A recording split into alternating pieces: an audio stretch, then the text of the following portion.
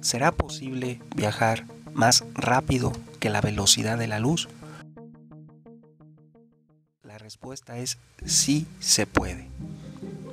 ¿Y, la, ¿Y qué nos da a entender que sí? Pues simple y sencillamente la interacción cuántica.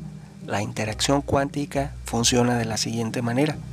Si tomamos una partícula de luz en la ciudad de Morelia y tomamos una partícula de luz o un fotón en Shanghái, al otro lado del mundo, en China, de algún modo cambiamos la polarización del fotón A que tenemos en México y automáticamente el fotón que está en China cambiará también su estado.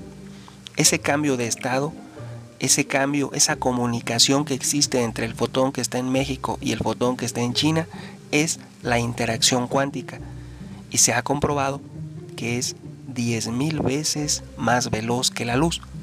Aunque lógicamente te diré que no es acertado pensar en usar esta propiedad de las partículas para comunicarnos a velocidades superiores a las de la luz, lo cual sería muy positivo en el futuro para hablar con nuestras posibles bases espaciales repartidas en el sistema solar.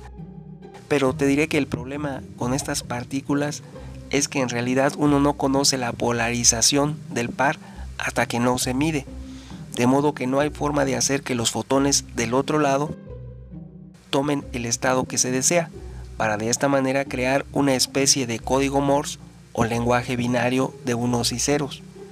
Entonces, de momento nos falta investigar, pero existe la debido a la interacción cuántica que de verdad se pueda viajar más rápido que la velocidad de la luz.